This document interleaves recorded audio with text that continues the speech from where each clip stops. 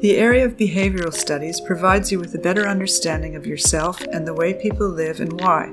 It's concerned with the individual, their behavior, and how society is able to deal with a range of issues. This area covers Psychology 3 and Sociology 3, both pre tertiary subjects externally examined, as well as Introduction to Sociology and Psychology and Working with Children 2 as non pre tertiary courses. The underpinning concern in each area is conducting research and inquiry in an ethical manner. Sociology is concerned with understanding and interpreting contemporary Australian society and the people within it. The social world is explored with the help of theories about the structure of social life and the sociological influences on it. Theories are applied to a range of social issues to understand why patterns exist, why problems have occurred, such as crime, and how they might be dealt with, how we organize our lives and institutions, and the consequences of such activities.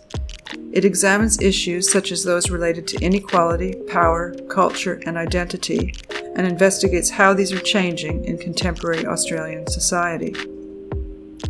Psychology is concerned with understanding of human behavior and experiences of the individual. It is underpinned by individual differences and the interaction of biological and environmental factors involved in the study of intelligence, or sex and gender differences, or personality. It examines how we see and make sense of the world around us through the study of perception and psychobiological processes such as consciousness. Learning processes and theories are examined.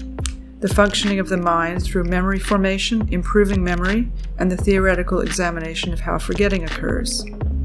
Both sociology and psychology provide a pathway to university or further study. Introduction to Sociology and Psychology provides an introduction to the areas of study with a taste of both sociology and psychology. It leads to an understanding of the self, societal values, norms and deviance, culture, and subculture.